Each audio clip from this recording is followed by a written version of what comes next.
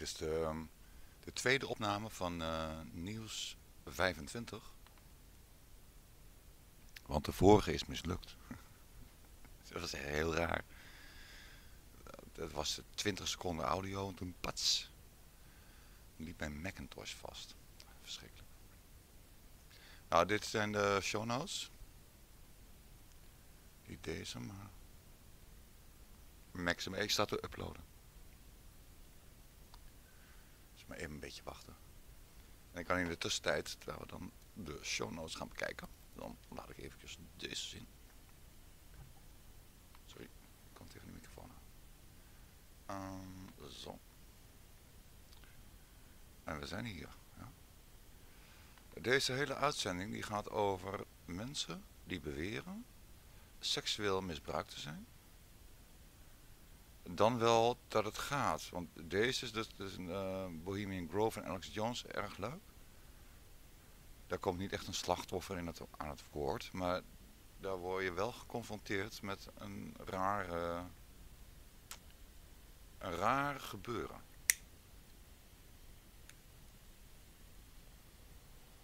En Bohemian, dat, dat, is, dat is een Sigeuner noemen we dat. Dat is een globalist. Een Bohemian die woont niet ergens. Een bepaalde etymologie van dat woord. En hier eindigen we mee, de, Franklin Cover-Up. Dat is een documentaire film, die is nog nooit op tv geweest. Heel raar. Wel gemaakt, maar... Nou, dan beginnen we met deze. Uh, dat is dan, moet ik hem hier al zijn. En dan pak ik de eerste terug. En dan doen we gewoon een beetje de audio van hem erbij. Ik doe mijn microfoon iets terug, dat jullie het goed kunnen horen.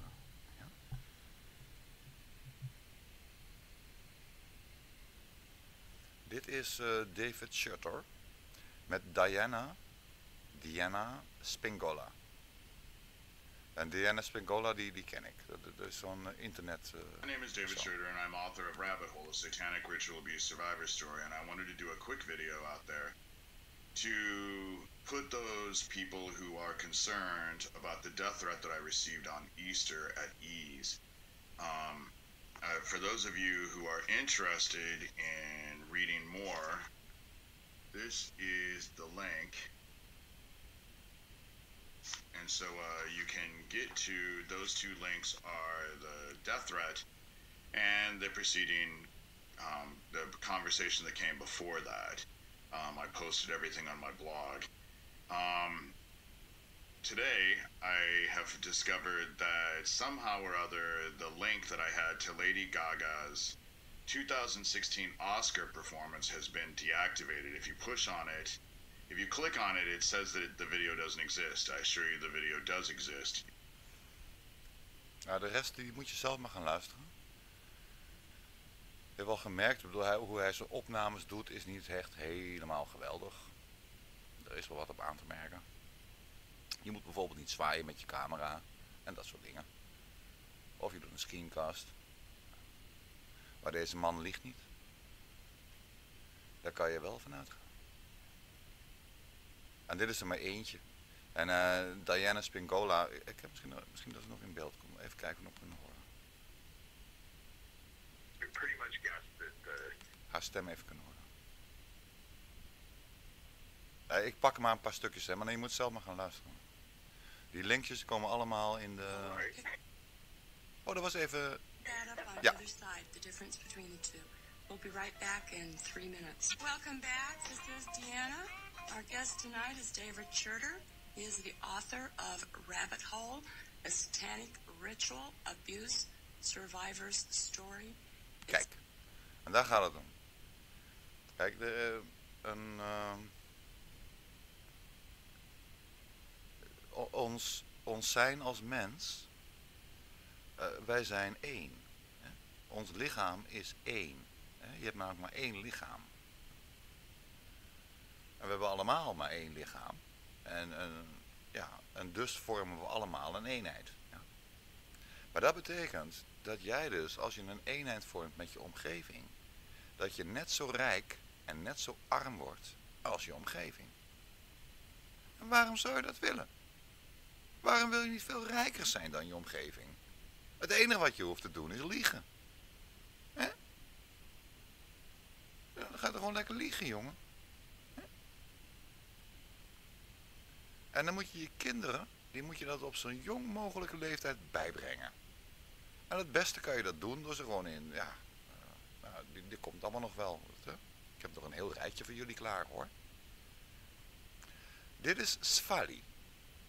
En Svali, dat is een, uh, een, een, een pseudoniem, een schuilnaam van een vrouw. En die is opgegroeid in een multigenerationele, dus meerdere generaties van satanisten.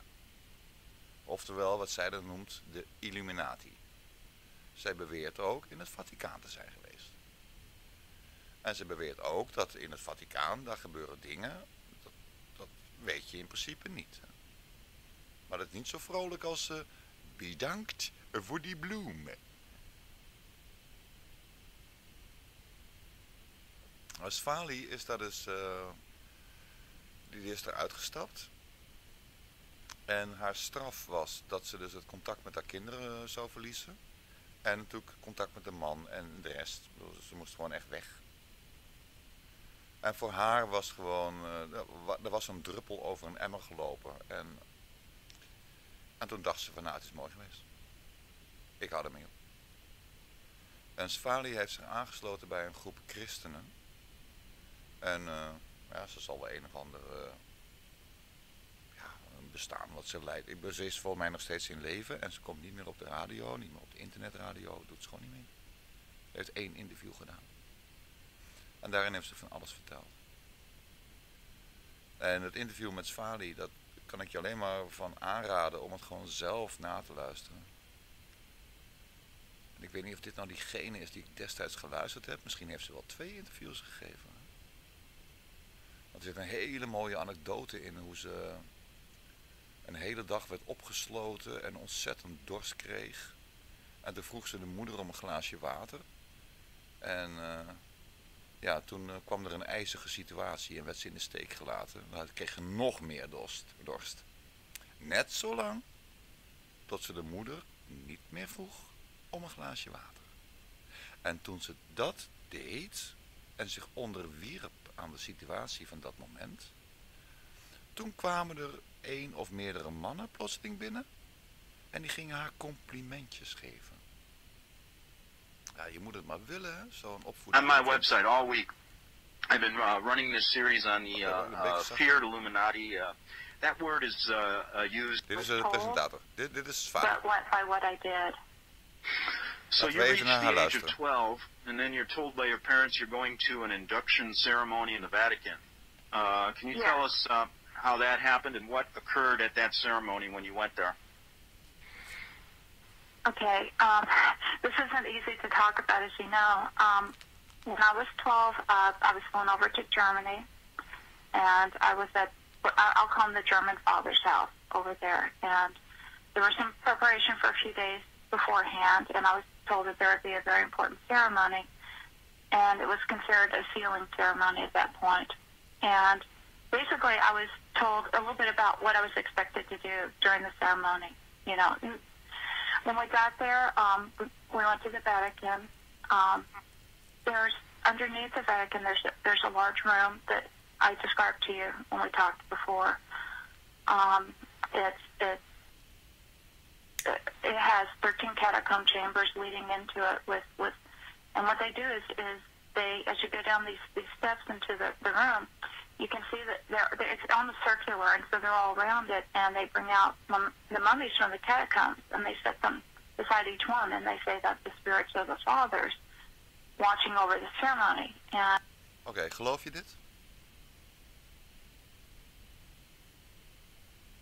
Zij zegt dat er onder het Vaticaan een keldercomplex is.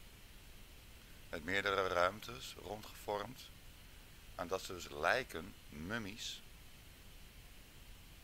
die stellen ze daar tentoon tijdens een ritueel. Ze zijn de dood. Ze zijn gelijk aan de doden. Het enige verschil tussen hun en de doden is, naar mijn mening, is dat we hebben hun nog niet doodgeschoten. Daarom leven ze. En verspreiden ze hun dood. Nou, dit wordt Cathy O'Brien. Dat is een van de... Even de sound uit zo. Dit is ook eens een conspiracy site. Dit is de man die haar aankondigt.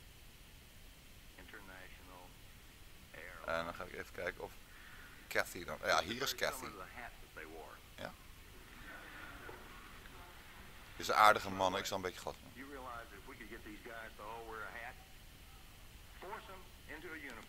ik, ik moet hem eventjes een grapje maken, maar CIA... Ik ga even klikken. Nee, dan gaat hij lopen, denk ik. Maar oké, okay, dan klik ik dus niet. Maar uh, eh, CIA, die afkorting betekent Catholics in Action katholieken aan het werk. Kijk maar wat de katholieken doen. Katholiek, katholiek, kijk wat hij doet. Dit is Cathy O'Brien. Ik sta te uploaden, dus moet heel even wachten. Kijk, een mooie vrouw, hè?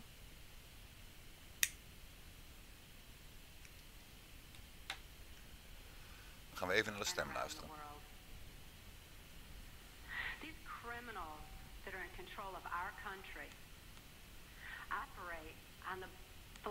Philosophy that secret knowledge equals power. Many government secrets and personal reputations were staked on the belief that I could not be deprogrammed to remember those things that I was supposed to forget. They were wrong. For as intelligent as these perpetrators are, they're limited in their thinking by their own immorality. They don't have wisdom. They don't think deep. And they never considered the strength of the human spirit. They never considered what would happen when a good man like Mark Phillips gained knowledge of their secrets and used them to restore a mind rather than control one. Nou, mooi hè? Ik uh, ga het niet voor jullie vertalen. Je gaat maar zelf, pak je maar Google Translate erbij of zo. Je gaat maar leren om uh, deze vrouw, die alhoewel ze Engels spreekt, te verstaan. Ik heb het allemaal onder in de show notes staan. Is gewoon een kwestie, van klikken. Klikken, de klikken, de klikken, de klikken, de klikken. Nou, dit is een van mijn favorieten, moet ik zeggen. Hem zou ik echt als broer gehad willen hebben. Dat is gewoon mijn broer. hij is natuurlijk mijn broer, want ik ben een christen. Dus als ik een man zie, dan denk ik, hé hey, broer. Als ik een vrouw zie, dan denk ik, hé hey, zus. Maar dat komt door mijn geloof. Maar hem had ik gewoon echt als broer willen hebben. ik heb niet zoveel geld meer, maar ik, wat kost het eigenlijk om Jay Parker als broer te krijgen? Want daar gaan we het over hebben, Jay Parker. En dit is een interview wat hij gedaan heeft. Van opname. En dat is gewoon op straat, in het zonnetje. Uh, die man heeft helemaal geen cent te makken. En hij, hij is ook helemaal totally, hij is helemaal into Organ Night of zo. Uh, en ontzettend, uh, hij, is richting Bible believing. Weet je. is wel een christensjongen. Jay Parker, a monarch mind control survivor and overcomer. And this is another video I'm doing to inform people of the danger of the New World Order and the generational Satanists that control our world. They are known as the Illuminati. I grew up in a Illuminati pedophile village in Arden, Delaware. It poses as a former art colony, but in fact, it is 90% Marquis of Hell adherents. They, that is a demon they worship. They practice pedophilia constantly, mind control that is monitored by the CIA with their CIA psychologists taking reports on the children, going through the torture and abuse of monarch mind control. Those uh, reports were gathered when I was there by a psychologist from the University of Pennsylvania by the name of Gordon Pizer. I'll have more to say about him later. All I can say about Arden is they are the the uh, how do you put this? The re residue of the old religion from the Middle East and Europe, uh, going back probably 5,000 years. Kijk, hoorden jullie dat laatste? Dus in Arden, Delaware, 90% van de mensen die daar woonden, hun geloof gaat terug naar het Midden-Oosten. En dan minimaal 5000 jaar. Nou, laat dat nou kloppen met de geschiedenisboekjes.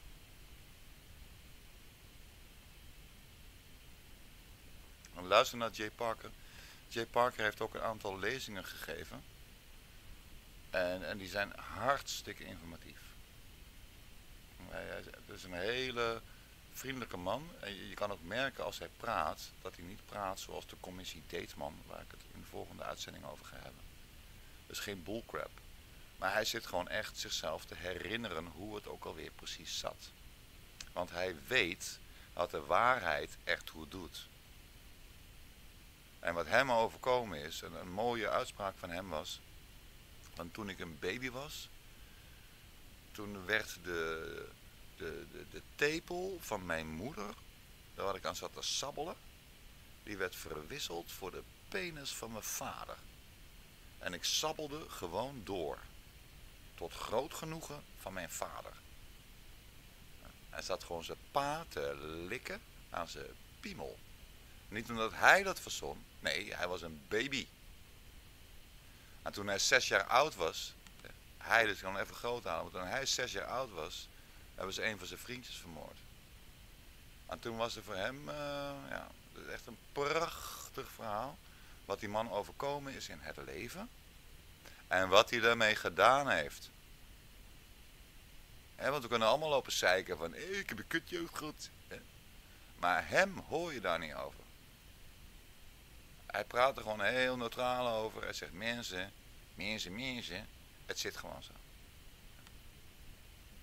Dan kan je hoog springen, dan kan je laag springen. En dan kan je zeggen, ja maar je wil niet in een wereld wonen waarin iemand als Joris Demming, die gaat er gewoon met de poet vandoor. Ja, dat kan je maar niet willen. Maar je woont in zo'n wereld.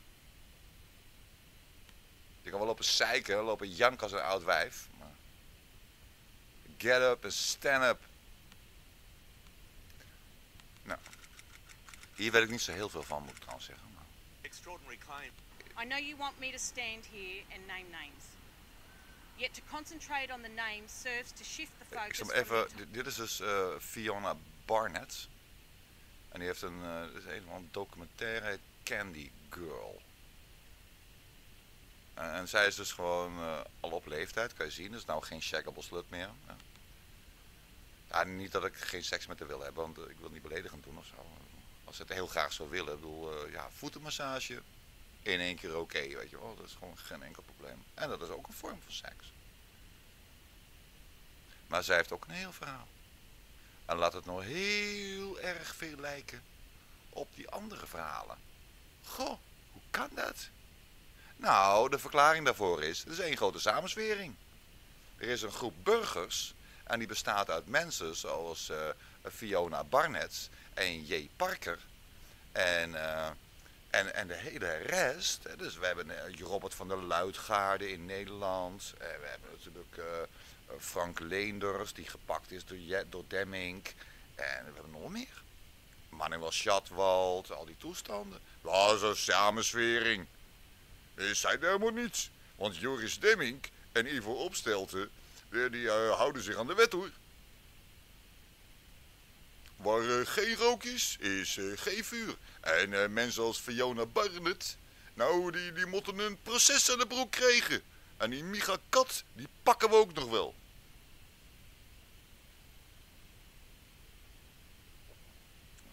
Kan je ook denken. Of je gaat je er even in verdiepen. Het is niet leuk om er naar te kijken of zo. Al die getuigenissen van... Uh... Nou, waar we nu naar gaan kijken, je hebt het geluid lekker uitgedaan. Dit is een bullcrap movie. Dit is van Alex Jones. En voor wie Alex Jones niet kent, maar Alex Jones die... Ja... Die, die verdient wel veel geld, wat ik zo maar zeggen. Dan kan je zeggen, ja, hij woont in Amerika. En in Amerika verdient iedereen veel geld. Voor hetzelfde geld is hij uh, Jesuit controlled. Weet je natuurlijk niet. Dit is allemaal onzin natuurlijk. Daar kan je op gelijk al aan herkennen. Hier is iets mis. Want wat is dit voor een intro? Ja. Nou, dan krijg je weer van die wiebelige camerabeelden. Uh, ja, nou, hou ze in de gaten. Ja, nou, daar gaan ze hoor. Waar je nu naar zit te kijken, dat is een, eh, een ritueel. Wat ze dan doen in de Bohemian Grove. En het heet de Cremation of Care. En cremation, dat betekent cremeren. Dat betekent gewoon verbranden. Het ophouden met. En care, dat is zorg.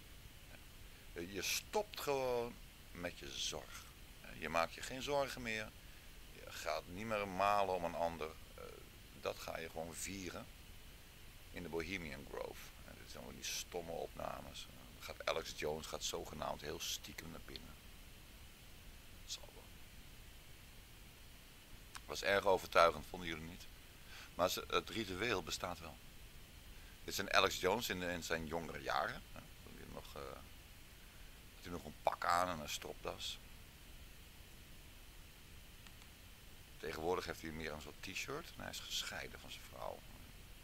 En daar was trouwens, even kijken of ik terug kan. Want Bohemian Grove ligt in het noorden van California. Even kijken of ik hem Als ik hem zie, geef ik een klik. Ja. Ik ben nog, nee, het wordt helemaal niks. Maar het is een kutfilm voor de rest hoor, je moet niet naar kijken. Maar je weet nu wel dat er wel zo degelijk iets bestaat als de Bohemian Grove. Waar ze hele rare dingen. Want, even kijken, dat is aan het begin. Even kijken waar die dan... Waar die nog zit. Ja, dit is echt zo'n bullcrap documentaire. is dit nou weer, man. Maar dat beeld wat ze daar hebben, dat is een moloch. Ja, kijk hier, dit is weer heel slecht gefilmd natuurlijk. Dit is met opzet scheef gedaan. Dit slaat helemaal nergens op. Dat lijkt een moonlanding hoax wel. Dat is ook allemaal zo scheef gefilmd. Maar je ziet hier dus uh, een rijtje mensen. Die doen allemaal mee aan het rituaal. Het publiek zit aan de andere kant van de vijver. En daarachter daar is dan dus een heel groot beeld en dat is van een uil. En die heet Moloch. Wat een klote film is dit zeg. Als ik, als, ik, als ik de baas van Alex Jones was, dan zou ik zeggen, jongen, uh, je krijgt nog één keer poen van mij, maar de volgende keer, uh, dan ga je, je gaat eerst eventjes, uh, ja, je krijgt wel betaald voor deze film, maar dan trek ik minimaal 2000 euro. En daarvan het equivalent in dollars natuurlijk, dus dat is ik weet niet wat het tegenwoordig is, maar 2000 euro gaat er vanaf. En dan krijgt Alex Jones eventjes een, een, een, eh, een cursus waterpas. Dus ik heb een vriend, en dat is een drummer van mijn band. Of, ja, ik ben de zanger van zijn band, mag je ook zeggen. En uh, die werkt in de bouw. En die, die geef ik dan 2000 euro. En dan kan hij, Alex Jones, leren de wondere wereld van de waterpas. En niet scheef filmen. Lul van Alex Jones. Maar het is er dus wel. Want anders hadden ze dit niet gepubliceerd. Want zo, zijn, zo werken die dingen. Dus ook als je kijkt naar controlled opposition, zo heet dat een nette term. Dan, uh, dan maakt dat niet uit. Dit, is, uh, dit gaat over de Franklin cover-up. En dat is een bullcrap, jongen. Ongelooflijk. Dat boek heb ik gelezen. John D. de Camp heet die schrijver. En die heeft dat gedaan om zijn leven te redden. Want hij, hij wist te villen. Dat is wel mooi aan mop hè, van uh, twee cowboys. Hè. Er zitten twee cowboys op een paard. En dan kwam zo'n derde cowboy tegen. Dus dan zegt dus die eerste cowboy tegen die derde cowboy. Hoeveel is 1 plus 1? En dan zegt die derde cowboy. Dat is 2. En die eerste cowboy die pakt zijn gun en die schiet hem dood. En die tweede cowboy, hè, die helemaal verbaasd. Uh, oh, I do you deed dat. En dan zegt die eerste cowboy. I wist the film, man. En zo heeft John D. de Camp dat boek geschreven. Van de Franklin Cover-Up. Kan je kopen voor een tientje. En nog verzendkosten, man. En je kan hem ook uh, gewoon downloaden hoor. En dit is dan de film. Die mocht dus niet. Die zou bij de BBC uitgezonden worden. Maar dat ging dus eventjes lekker niet door. Waarom weet ik ook niet. Nou, zou het uh, kunnen zijn dat... Uh, ja, in deze film worden er bepaalde belangrijke mensen beschuldigd van seksueel kindermisbruik. Ja, dat zou zomaar kunnen. Hè? Er is een priester. Hè? Je kan het allemaal nazoeken. Want ik, en het is dus, het gaat hier. Dit, dit, is niet zoiets, eh, ik laat hem gewoon even lopen. Ja, het geluid staat toch uit. Maar het probleem waar we het hier over hebben. Dit is trouwens een prostituee. Deze jongen is te gaas genomen. Die heeft een anus, jongen. Hij maakt het niet uit of hij diarree heeft of stijve poep. Het komt er allemaal als een flapdrol uit. Hij is heroïne verslaafd of zo.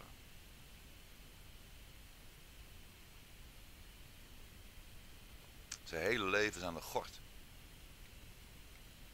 En dat gebeurt beetje. Kijk, een mens, ik heb momenteel heb ik een, uh, ik heb twee wietzaadjes die uitgekomen zijn. Ik, ik had er meer, maar er zijn er twee uitgekomen.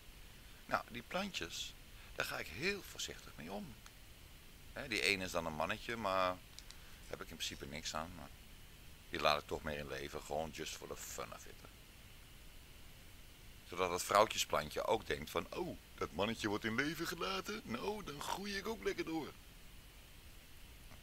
Aan het einde van de rit natuurlijk doe ik chop chop. Maar bij een plant mag dat. Dus hier kan je twee dingen uit leren. Dat is punt 1. Als je iets wil laten groeien, dan moet je er vooral in het begin heel erg goed voor zijn.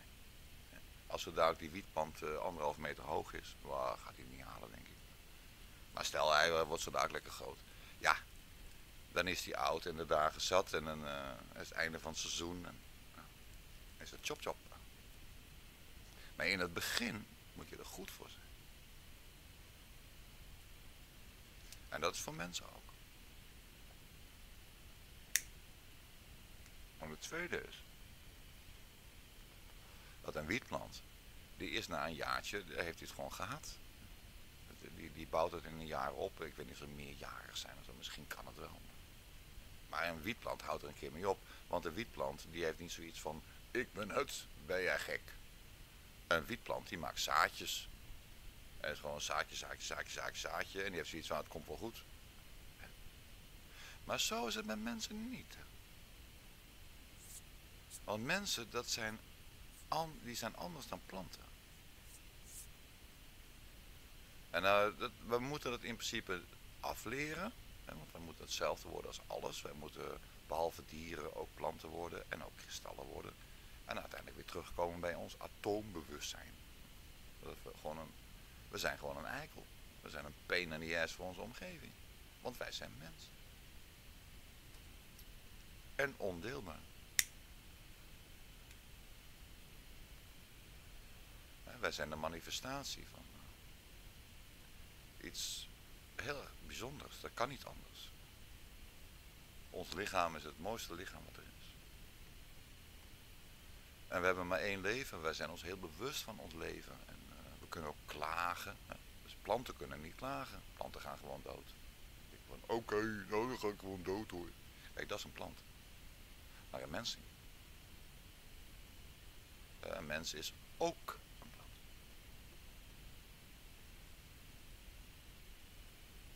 En daarom mag je mensen, kleine mensen, die nog groot moeten worden, net als mijn wietplant, die mag je dus niet beschadigen, want dan krijg je geen grote wietplant. En je mag ze niet oogsten. Eh, mensen worden niet geoogst. Dat mag niet. Dat mag van mijn vader niet. En als het van jouw vader wel mag, dan is jouw vader mijn vader niet. Je je mag niet mensen gebruiken voor je ding. Dat is gewoon bullcrap. Dat is gevaarlijk. Want ik, als mens, ik schiet terug. Ja, als je een krokodil in, toen hij een, klein krokodilletje in zijn reet neukt, dan krijgt hij waarschijnlijk ook een pesthekel aan je. Dan denk je, gadverdamme, je hebt me in mijn reet geneukt man, flikker op. Maar ik ben gevaarlijker dan een krokodil. En ik ben ook iemand die het niet uitmaakt of ik in mijn reet geneukt werd of iemand in mijn omgeving. Want voor mij doet het allebei evenzeer pijn. Zo zit ik in elkaar. En jullie ook al, hoop ik. En zo niet, ga er maar zo snel mogelijk aan werken. En kijk naar de verhalen van deze getuigen. Trek er een paar uur voor uit.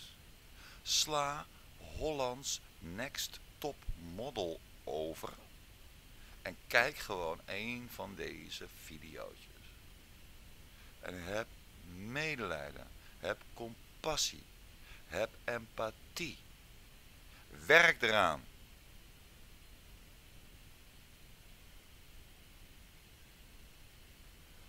Jezus heeft gezegd, ja, jullie houden er natuurlijk niet van, maar hij heeft gezegd, hij die heeft, die zal gegeven worden. En hij die niet heeft, die zal ontnomen worden dat wat hij heeft. Of zoals Herakleitos zei, de weg omhoog is dezelfde weg als de weg omlaag. En wij zijn de goede. Als je een eikel was, dan had je het nu al lang uitgezet.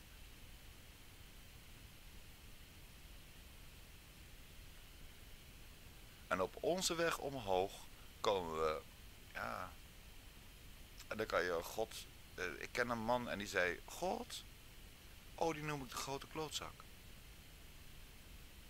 Nou, vind ik een prima naam voor hem.